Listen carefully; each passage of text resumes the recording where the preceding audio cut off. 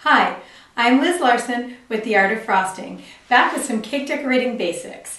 Today we begin our Halloween series, and we're going to start with one that's really beginner level, but looks great. We're going to do this bat cake. Super easy, let's get started. I want to be sure to get the right proportions of our candy melt bat for our moon. So I'm taking my pan and making a circle so I know exactly what size. I'm working with.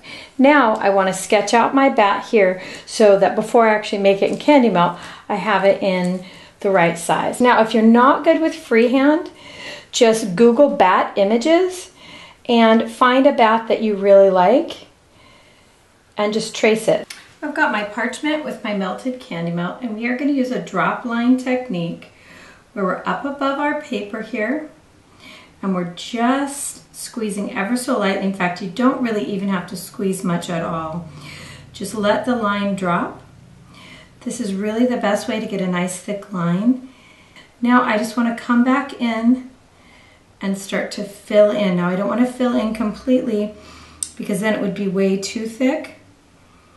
I'm going to fill along these edges lightly and spread with the tip of my bag here. So continue now to just fill around and then start to come in and fill in about like this. You'll come back in very delicately with your palette knife and smooth. Now remember, this is another reason why this needs to be warm enough to be able to spread. When we pull this off, we'll actually use the opposite side of this so it'll look a lot flatter. We're going to utilize the, the solid side of this. Now go ahead and put that aside. You want to let it dry for probably 30 minutes or put it in the fridge for 5 to 10 minutes. While I'm here, I decided that I want to come in and make myself a couple of little bats. I'm just going to freehand those.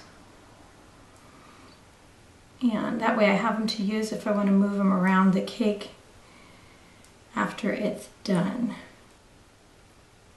So I'm starting here with just an 8 inch round. It's split and filled. It could be a double layer or a 10 or any size you want. But I planned my bat for an 8 inch round. Now we're going to use a trick that you've seen me do a lot of times. And it's just color striping. I just got my bag with a coupler in the end. No tip. You could even use it without a coupler if you want to. But the coupler gives me a little more control. I'm going to use some blue Wilton gel and some purple Wilton gel. So you can use paste colors, you could even use liquid if you've mixed it with your icing a little bit. And I'm just going to take some of my purple and I want it to be pretty intense. I've got it on the edge of my spatula. I'm just going to wipe it right up the side of my bag. You can see now it's full of color. Just get the raw color right up in there. Be sure to wipe your spatula in between and then take your blue.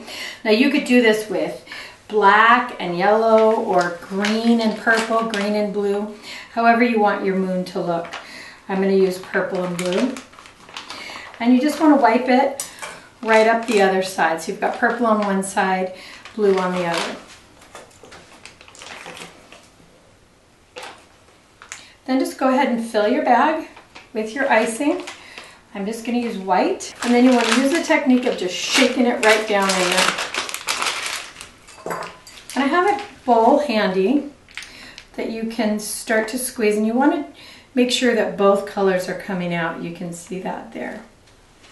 And I'm just going to take my bag here. And I want my colors to be on either side. So just make sure you're the right way there. I'm just to spin my turntable and lay down a spiral just right on top. Next, I want to take my bench knife, and you guys have seen this, and I want to put the edge of my bench knife right in the middle of that spiral and just start to spin. And it's going to start to blend those colors together and give me the eerie moon look that I want. Wipe off the excess and wipe your bench knife so you don't end up with, with muddied colors. clean up your edge there just slightly.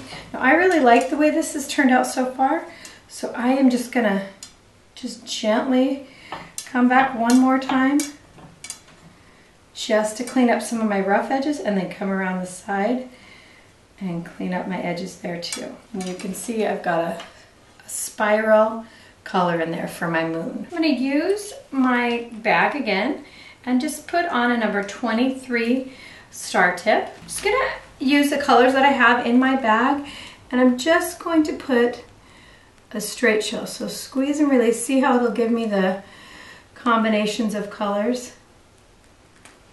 This would be really cool with yellow and black. And see I've got some really nice stripes there.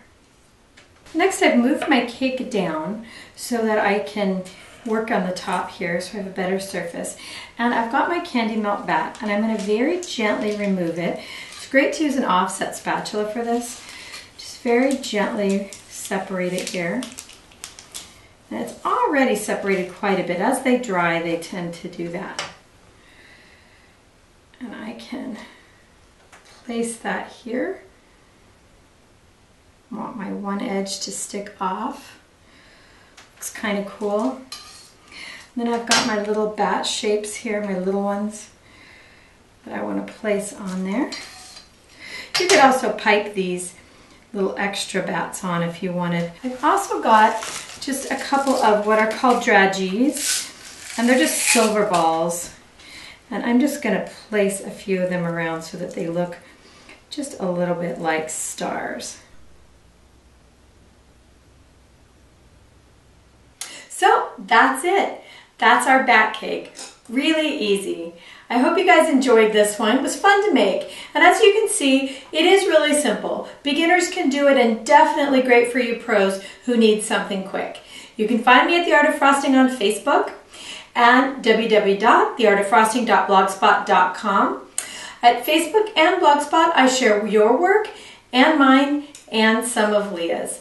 Don't forget to subscribe, it's always free. And there's something new at curious.com. Look up my name, Liz Larson, and there's a whole beginning cake decorating course. 10 lessons for those of you who are beginners. Goes from borders all the way through to flowers. See y'all again real soon. Bye. Thank you.